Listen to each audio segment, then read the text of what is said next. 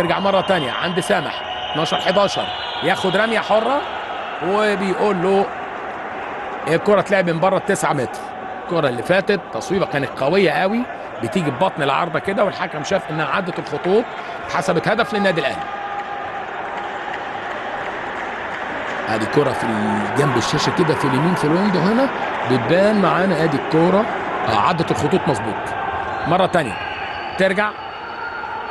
عند الفولي اللي عايز يعدي يلعب الكورة عند أحمد سامح. أحمد سامح شار التحسين باللعب السلبي من حكام اللقاء. أحمد الأحمر عايز يعدي يلعب أوه أوه. ميحا يتصدى للكورة. مرة ثانية المرة دي كاستيلو. يا ميحا يا ميحا. يا ميحا يا ميحا. مهارة صريحة. حارس المرمى مهارة صريحة. يا يا بيفكرني بأيمن صلاح كده الأطراف الطويلة ويروح للكورة. لا لا لا لا لا لا, لا. ادي الكره اللي اتلعبت ادي شادي. بص هو بيعمل إيه بقى؟ بيروح للكورة مع إنذار اللعب السلبي. التصدي ده بيعمل عمل إيجابي بيعمل عمل إيجابي. طبعا.